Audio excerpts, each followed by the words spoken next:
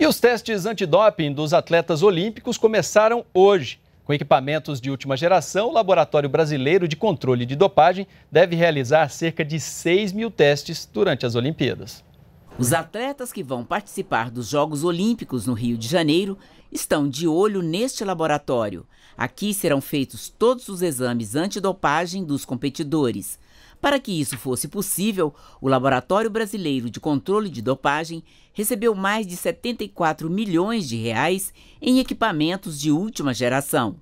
O governo federal investiu também 151 milhões de reais na construção do prédio do Laboratório de Apoio ao Desenvolvimento Tecnológico da Universidade Federal do Rio de Janeiro, onde foi instalado o laboratório que já faz análises de atletas que participam de eventos testes para as Olimpíadas e já recebeu mais de 2.500 amostras. Nunca nos faltou a certeza de que chegaríamos prontos aos Jogos com este laboratório que eu passei a chamar o laboratório de cinema.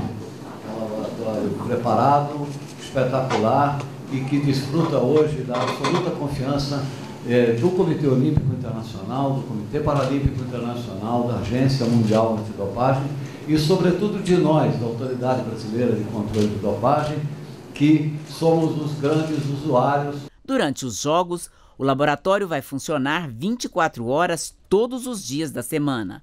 Mais de 6 mil exames de dopagem devem ser feitos enquanto durarem as competições.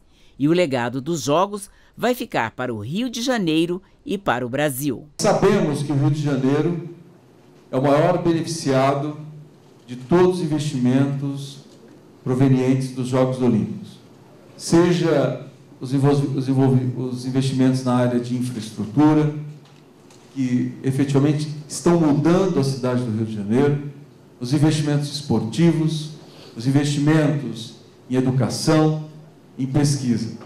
E esse aqui, esse laboratório, no meu entender, é uma amostra daquilo que nós vamos deixar de legado para o país. Então o Brasil sai de uma política, de uma ideia de, controle de dopagem, é, que é um exame de urina após jogo de futebol, e entra é, dentro do que há de mais moderno uh, nessa área, com pessoas especializadas, com uma instituição especializada.